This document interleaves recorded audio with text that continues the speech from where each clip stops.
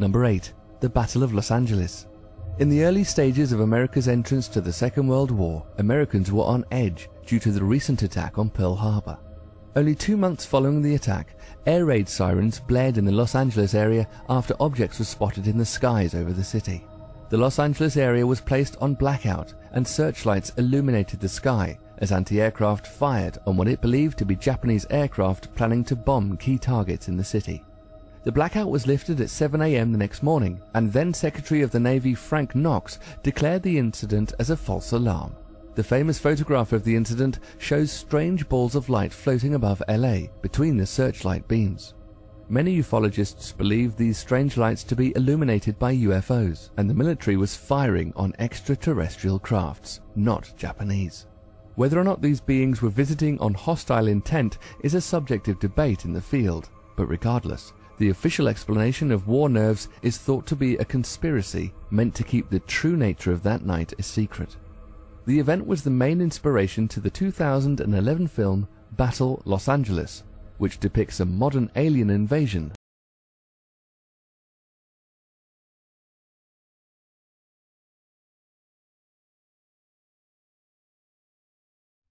1942年2月24日から25日にかけて、ロサンゼルス中に空襲警報が鳴り響きました。10日管制が敷かれ、何千もの監視員が位置につくように招集されました。午前3時16分、第37海岸砲兵部隊が発砲を始めました。そしてその物体にめがけ、50の50の高射砲から13ポンドの対空砲弾が撃たれ、結果として1400発、1400発が撃たれました。第4迎撃司令部に警告が発せられましたが、飛行機は地上で待機しました。対空砲は午前4時14分まで断続的に続きました。オールクリア、つまりすべて終了となり、10日完成が解かれたのは午前7時21分のことでした。いくつかのビルや車が砲弾によって被害を受けました。対空砲の犠牲で5人が亡くなり、混乱の中で3人が死にました。また、長時間の作成でストレスにより2人の人が心臓麻痺になりました。この事件は US パシフィック紙及び全米の報道機関で報道されました。空軍の歴史管理部が証拠を分析し、1983年、気象風船、気象風船、気象風船、気象風船が元でこの事件が起きたという結論を下しました。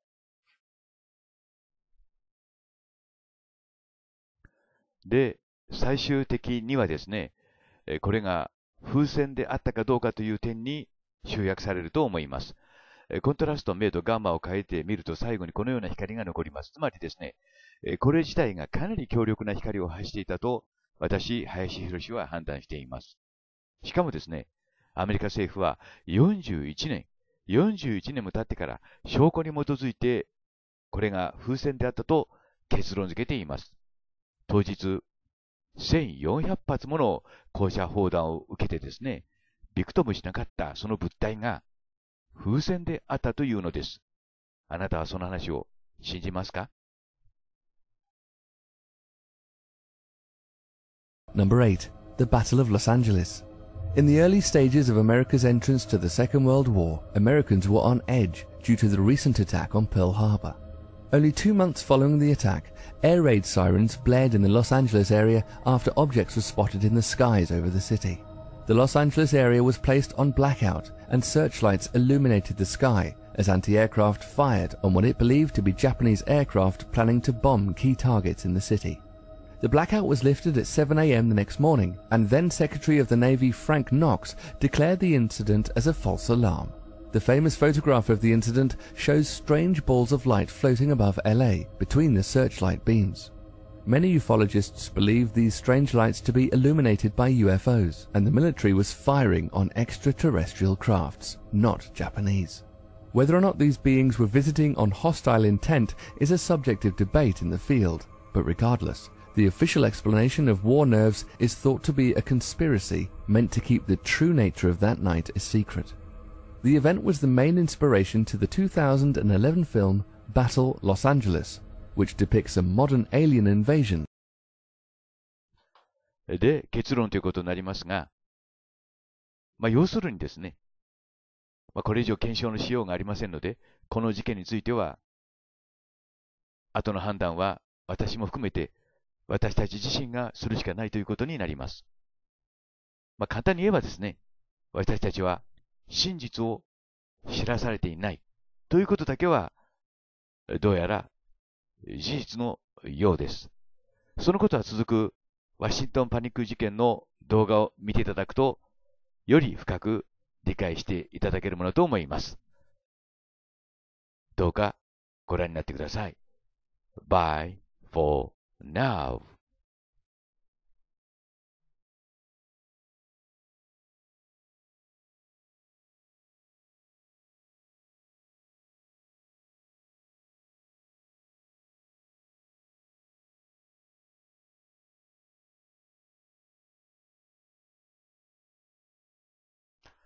Hello, this is Hiroshi Hamama City, Japan. Aliens Wars. UFOs over Washington, D.C. 1952. エイリアン戦争。ワシントン UFO 事件。1952年の7月19日、ワシントン市上空に UFO の変態が現れました。で、その時の動画が残っていました。今日はその UFO 事件について検証してみます。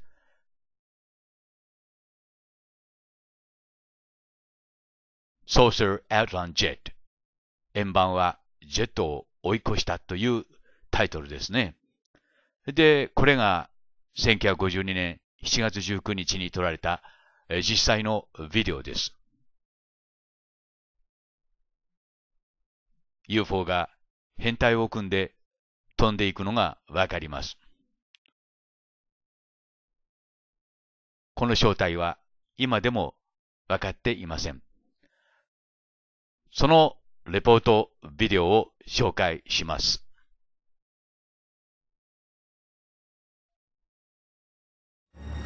In July of 1952, during the administration of Harry Truman, Washington, D.C. appeared to be the target of airborne intruders. But the prowlers weren't Soviet fighter planes. They seemed to be UFOs.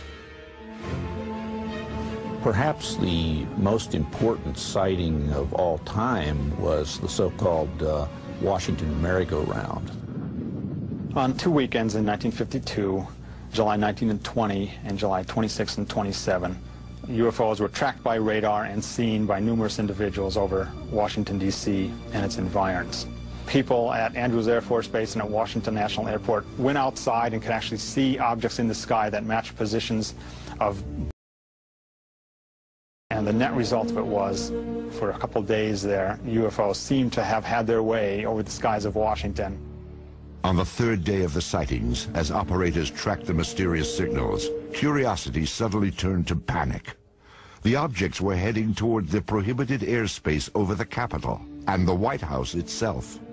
The Pentagon ordered jets from an airbase in Delaware to intercept the intruders. Al Chop was the Air Force's civilian spokesman on UFO issues. He was called to the radar room at Washington National as the dramatic incident unfolded. We were observing about four or five known flights and about 12 to 14 UFOs. And uh, we saw the flight coming in from Delaware. We could see them on the radar scope, and the, the moment they came on the scope, all the UFOs disappeared. The fighter planes patrolled the empty skies for some 20 minutes, but there was nothing to intercept.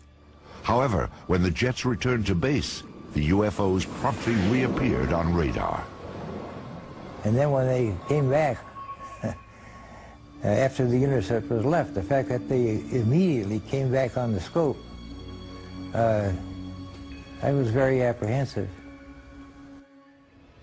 Again, jets were sent aloft. One pilot reported seeing the UFOs, which he described as blue and white lights. Then he reported that they were closing in. We could also see them on the radar scope, and we could see his return and the unknowns grouping around him. And he said, they're all around me. And uh, then he said later on, what shall I do? Well, I just, what could we tell him? After a few minutes, the UFOs pulled back and then disappeared. The standoff was over. However, the extended episode had stunned the nation. That sighting has never been adequately explained. Because it happened in Washington, D.C., it uh, alerted everybody right on up to the President of the United States and caused a, a, national press conference by the Chief of Intelligence of the Air Force to try to calm everybody down. We have received and analyzed between one and 2,000 reports that have come to us from all kinds of sources. Of this great mass of reports, we have, as of date, come to only one firm conclusion, and that is that it does not contain any pattern of purpose or of consistency that we can relate with any, to any conceivable threat to the United States. General Sanford went on to explain that the sightings were merely an atmospheric anomaly, an inversion layer. Radar signals had bounced off this layer and picked up ground images of cars and buildings. Somehow, experienced radar operators at three different locations had misidentified them as UFOs. took down the story. They bought the explanations. It was still standard practice, and it was for many years, to accept whatever the government said about flying saucers, no matter how foolish it was when you looked at it carefully. The people at Washington National Airport and at Andrews were expert radar people and personnel. They'd been there for many, many years and could easily differentiate between ground clutter and true metallic objects. I mean, if they couldn't, they, they shouldn't have been radar operators. The senior radar air traffic controller at Washington National Airport, Harry Barnes, wrote his own account of the so-called Washington merry-go-round. He describes the objects as making right-angle turns, as hovering, as uh, reversing their course and moving back upon their path. One radar tracked the objects as moving at approximately 7,000 miles per hour. He had never seen objects maneuver like this in his years of being over a radar scope. He didn't know what they were. There were a few others who did not believe the objects were simply a product of unusual weather conditions. At that time, I was convinced that these things were interplanetary machines of some kind, mainly because of what happened that night in the radar room at Washington National Airport. I'm convinced that those objects were real. We don't know what they are, we don't know where they come from, but they are there. Of course, it's entirely possible that the military didn't really believe its own explanation of the UFOs. No fighters could catch up with these things, and they outmaneuvered the best that the military had to throw at them. Obviously, the people who were in charge of Air Force projects and Air Force intelligence at this time were not idiots. They were very, very smart people, as they are today. And I, I think they probably thought, once they appeared on Washington, oh my God, this is, this is the holiest of holies. Now they're hovering around the White House and the Capitol. Well, the answer turned out to be that they could do absolutely nothing, but it probably had to uh, provoke a whole lot of consternation in, in official quarters. But I can't believe that they wouldn't have been interested in, at some level, trying to find out what is going on. It's a national defense concern. There was a technical report that said it's the most classified subject in the United States, even more so than the H-bomb. That's going pretty far. That's taking it very seriously. In the decades after the Washington National Incident, aerial sightings were reported more frequently and all across the country. Some episodes were even recorded on tape. Uh, Dark 05, 327.1, 327.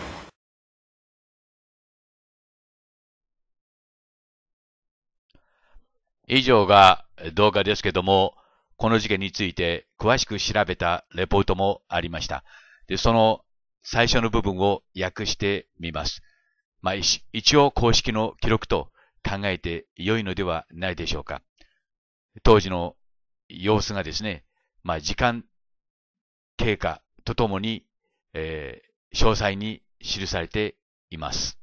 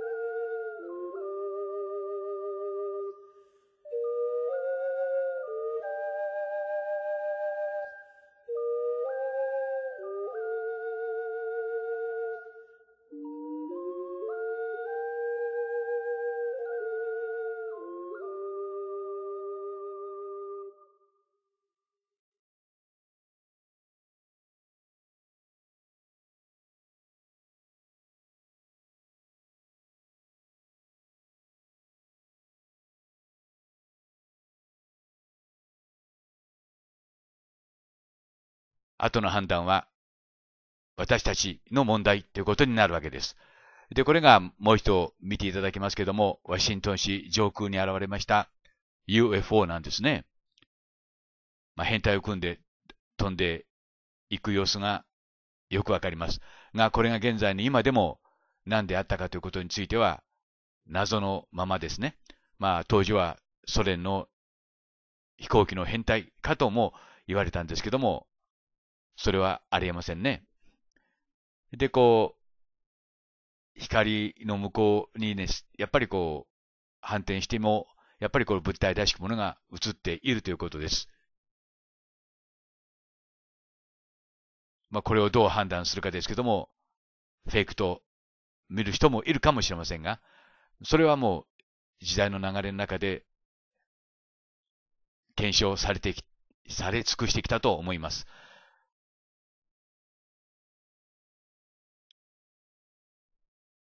まあ、偽物であればですね、現在の今までこう残るということはなかったということです。まあ、1952年ですからね、まあ、宇宙的な時間で見れば、つい、今しがたということになります。で、最後に検証してみますが、このワシントンメリーゴーランド事件、あるいはワシントンパニックと呼ばれたこの事件はですね、もう一つの事件と深く結びついているように思います。その2ヶ月後、ウェストバージニアでフラットウッドモンスターが現れます。まあ、それについてのビデオはこの後につなげておきますが、右がフラットモウッドモンスターです。で、この線を見ていただきたいんですけども、右がワシントン、DC、そして左がフラットウッドになります。極めて近い距離にあるわけですね。間の距離は318キロですけども、やはりこう地球的な、なんて言いますか、規模で見ますと、今のように、まあ、隣で起きた事件ということです。えつまり、ワシントン DC のですね、ワシントンパニック事件と、フラットウッドのモンスター事件は、同じ場所で、同じ時期に、同じ時に起きたと考えていいわけです。で、フラットウッド事件をもう一度喋り直してみますと、大変興味深いことがわかります。まあ、この詳しい資料は、この続くビデオの中でゆっくりとご覧いただけると思いますけども、この中に大変、なってますが、気になる証言が載っていました。それを皆さんにもう一度読んでいただきたいと思います。この部分なんですね。住民による UFO の目撃事件が、目撃がですね、その前後に起きるわけですけども、4機か5機が同じ方向に向けて飛んでいったと。で、1機か2機が空中分解したように見え、1機か2機が着陸し、1機か2機が墜落したと。さらに UFO は飛行中に事故を起こし、着陸か空中分解、墜落をしたと。そして、その中からフラットウズモンスターが現れたと。ですから、その、その時乗ってた地球外生命体がフラットウッドモンスターではないかということなんですね。このワシントンパニックとこの、このフラットウッドモンスターの事件を2つ足して、そして2で割りますと、事件の全貌が浮かび上がってくるんではないでしょうか。つまり、4月19日にですね、ワシントン上空に、まあ、新しいタイプのエイリアンたちがやってきた。それに対して地球側のに住んでいた別のエイリアンたちが、まあ反撃といいますか、防衛のために攻撃に出たというふうにも解釈できるということですね。あくまでもそれは私の解釈です。まあ、推論ですね。もう一度見てください。7月19日にワシントン上空に UFO が現れます。そしてその2ヶ月後の9月12日にフラットウッドモンスターが現れます。その間の期間はたった2ヶ月です。まあ関係がないということの方が無理があります。あると私は考えます。えー、で、調べてみますと、講談社20世紀全記録の中を見てもですね、1952年7月、そして8月、9月、もちろんその以上のワシントンパニック、フラットウッドモンスターの記事は全く残っていません。まあ人間たちはですね、まあいつものように平穏でまあ何もない生活を送っていたということになります。が、その陰で大変な事件が起きていた可能性があります。ということで続くビデオをどうかご覧ください。Thank you very much for watching and see you again next time. Bye.